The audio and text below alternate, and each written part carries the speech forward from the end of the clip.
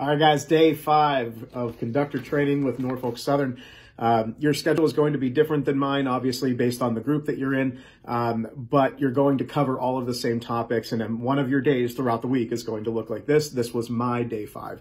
And again, to clarify, all of the things I'm going over with you guys about conductor training, this is my experience. Some things can change with this. For example, the next group that was coming down, their schedule wasn't seven to four, it was four in the afternoon till one in the morning. So um, some people will come down and do seven to four one week, four to one the next. It just depends on how they rotate their schedule. But for our schedule, beginning of the year, um, coming down here when I did, it ran seven to four for both consecutive weeks. So we started out in the morning with lecture. Uh, lecture is two hours long.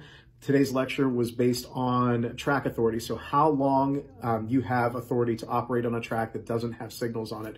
So you'll get permission from a dispatcher to move from milepost X to milepost X. Um, so that was our, our lecture for the day. After that, we moved into e-learning, two hours of e-learning. Um, e-learning is, is kind of an electronic study hall that has an electronic lecture that you can listen through, which are always completed with knowledge checks that make sure you understand, understand what you just went through. Uh, today's was on paperwork. So when you get to work every day, you get a specific uh, set of paperwork that pertains to the job that you're going to be working. Um, that'll cover the train consist. So what your train consists of and also your train clear, your train clearance um, or your your summary. Uh, that the summary essentially lets you know about what's in your path. So um, if there's any bad footing on the path, if there's any signals out, any of those kind of things, that was the big uh, thing that we covered today. Uh, after we came back from lunch, um, we went and we started out with E, which was I'm sorry, D, which was brake platform.